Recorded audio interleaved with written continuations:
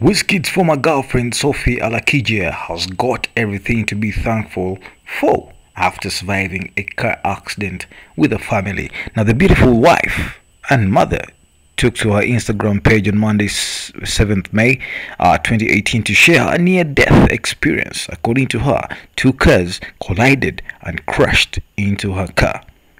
She quotes, God truly is amazing. We take life for granted, obvious to the fact that we can literally be gone any second.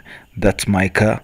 Last night, on our way home, my family and I, that's my husband, myself, and our two kids, were inside when two cars collided and ran into us. Mm-hmm. Now, Sophie uh, still quotes right here and uh, uh, on Instagram, and she went on to advise people to always be safety conscious whenever they are driving by putting on their safety belts at all times. She still quotes, It is not our portion for people to say, Ah, I just spoke to them. Ah, I just saw them. Please, please, please, let's always remember to wear our seat belts, both front and back, always. Lord knows it would have been a completely different case.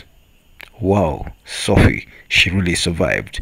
Now, Sophie Alakija, known as Sophie Rammal, back in the days before she got married, dated Wizkid for a while before getting married to Wale Alakija. They are blessed with two kids. Click subscribe to Africa Social TV.